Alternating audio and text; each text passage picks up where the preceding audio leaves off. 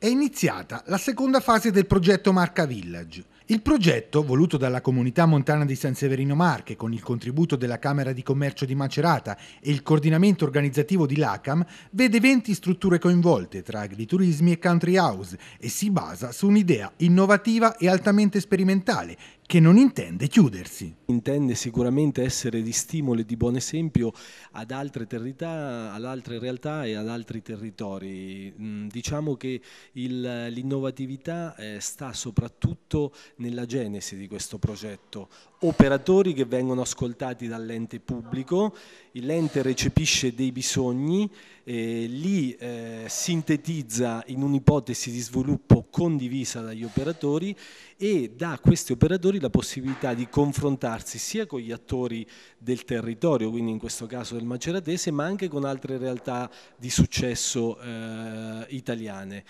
Monachesi sottolinea anche il ruolo di Marca Village, che non si ferma alla promozione, ma accompagna gli operatori nel difficilissimo momento della commercializzazione. Marca Village promuove il confronto con operatori del trade che operano a vari livelli ma che hanno una matrice comune, l'essere marchigiani. In questo contesto si inseriscono le collaborazioni con i tour operator territoriali. Nell'esigenza eh, di tutti gli attori di unirsi in un momento di crisi per cercare di far conoscere e dare la giusta valenza al proprio territorio.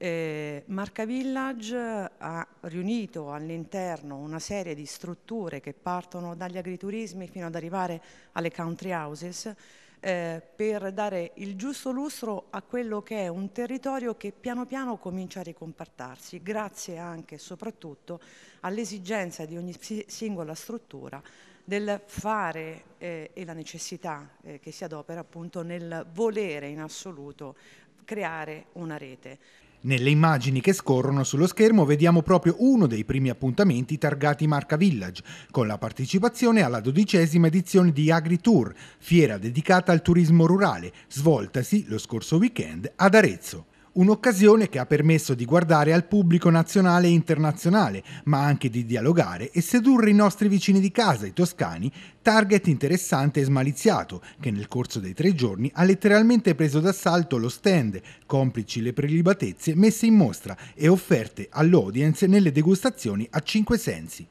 il Mistra Barnelli, la Vernaccia di Serra Petrona di Colle Luce, il Verdicchio di Matelica delle cantine Belisario, il vino di Visciole Antinori sono stati di volta in volta abbinati ai salumi di Fucili, ai formaggi di Misici, al torrone di Camerino di Casa Francucci, conditi da storie di territorio legate ai produttori e alle nostre tradizioni. Tanti momenti che hanno dimostrato l'interesse che il pubblico riserva al nostro territorio, con Gianluca Chiappa, presidente della comunità montana, ed Ivana Marcheggiani, presidente di LACAM, che hanno raccontato e si sono raccontati per evidenziare l'aspetto che più di tutti definisce la progettualità che risiede in Marca Village, il capitale umano, la grande forza espressa da un gruppo che vuole fare la differenza. Un momento importante della rassegna toscana è stato il campionato nazionale di cucina contadina, dove Lara e Melissa Mancini dell'agriturismo Agramato Mater di Colmurano hanno tenuto alta la bandiera della nostra regione presentando un delizioso piatto di filiera, coniglio in porchetta accompagnato da erbe di campo ed abbinato al sapore della sapa. Un confronto che per quest'anno ha visto trionfare la Basilicata,